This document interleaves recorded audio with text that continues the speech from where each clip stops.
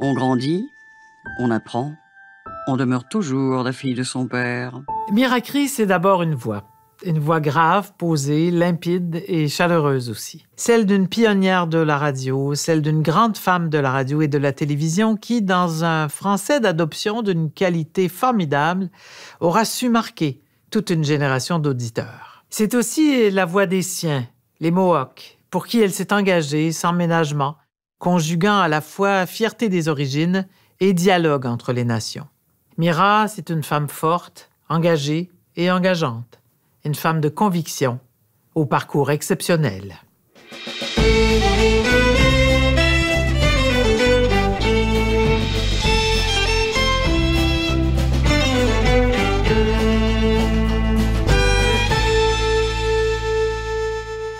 Mesdames, messieurs. Ici, Miracle.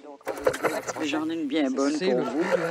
Pas immortelle, mais éternelle. On est en 1976. Le Québec est en pleine ébullition, le Parti québécois de René Lévesque prend le pouvoir et Montréal accueille les Jeux olympiques. Dans la tour de Radio-Canada, depuis peu, l'information a un nouveau visage, celui de Miracri. Elle est devenue la première femme et première autochtone à occuper le poste de chef d'antenne au téléjournal. Bonsoir, mesdames, messieurs. Au téléjournal ce soir, Fille et petite-fille de grands chefs Mohawk, elle est née en 1937 à Okakanesatake. Sa première langue est l'anglais. Le Mohawk euh, lui était sommairement transmis. À l'école des sœurs de la congrégation Notre-Dame, qu'on appelait les Dames, elle apprend aussi le français, une langue qu'elle découvre avec grand enthousiasme et dont elle s'éprend. C'est le moins qu'on puisse dire. Elle en fera plus tard son beau souci. C'est elle qui le disait ainsi. Et son outil de travail, évidemment. C'est en 1960, à 23 ans, que Mira fait ses premières armes à la radio à Jonquière. Et puis c'est la télévision, à Sherbrooke cette fois. Trois ans plus tard, elle épouse Jacques Bernier. De cette union naissent quatre enfants durant les années 60. Mais le malheur frappe. En 1969, Miracri et son mari sont victimes d'un terrible accident de voiture. Si elle s'en sort, Jacques y laisse malheureusement sa vie. Malgré cette terrible épreuve, Mira, résiliente, s'il en est, trouve la force de se relever. Après s'être installée à Oka-Kanasatake, où elle a refait sa vie avec la journaliste Solange Gagnon, elle reprend le micro en 1971. Deux ans plus tard, elle entre à Radio-Canada, d'abord comme animatrice, puis comme chef d'antenne au téléjournal, celui de fin de semaine. C'était là les nouvelles nationales et internationales. Pionnière, Miracri marque l'histoire et pave la voie à toute une génération de femmes journalistes et animatrices. Plus tard, on la verra dans différentes émissions, notamment le magazine d'information religieuse Second Regard qu'elle a animé de 1978 à 1984. Miracri reçoit en 1981 le prestigieux prix Judith Jasmin de la Fédération professionnelle des journalistes du Québec pour une émission intitulée Choisir l'espérance, un titre qui lui convenait très bien. Qu'est-ce que ça représente pour vous de recevoir le prix Judith Jasmin? Eh Bien, disons que j'étais d'une part étonnée et euh, évidemment très ravie.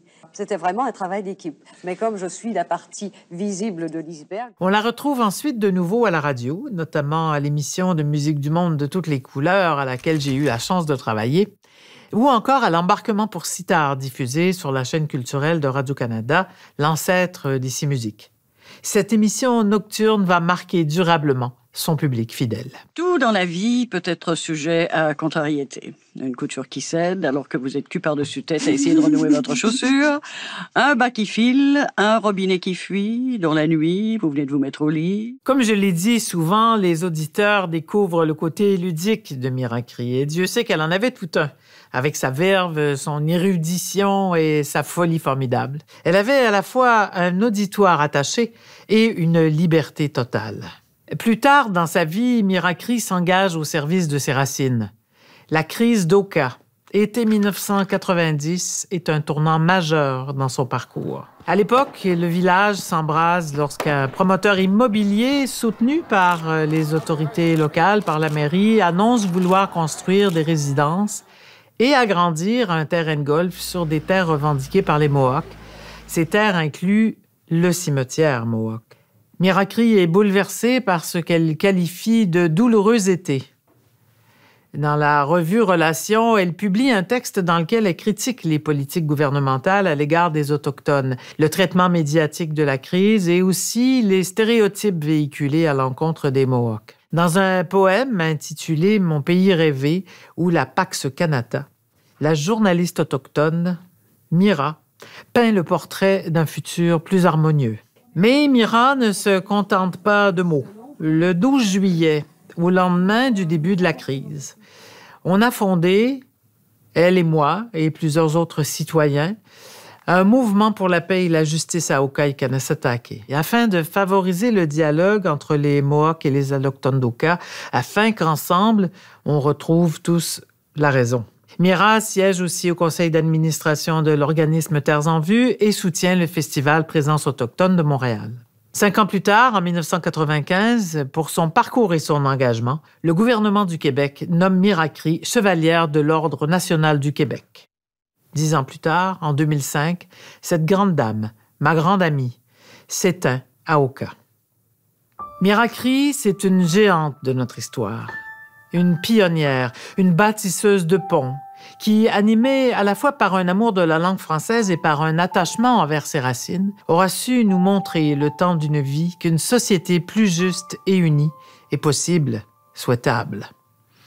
Pour moi, Miracri, ma mentor, ma presque mère, ma meilleure amie, cruellement absente et si présente à la fois, incarnait la liberté d'esprit, de parole et de geste. Une femme que tous ceux et celles qui l'ont côtoyée ne pourront jamais oublier. Darwin euh, dit que c'est le hasard qui fait euh, que depuis le singe, on s'est amélioré.